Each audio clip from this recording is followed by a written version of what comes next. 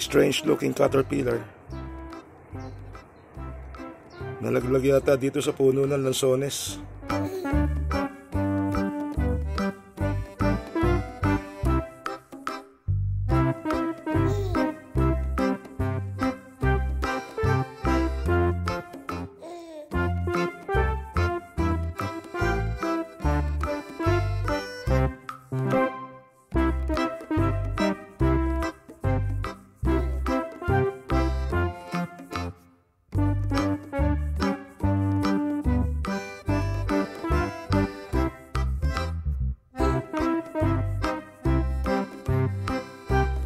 Good luck.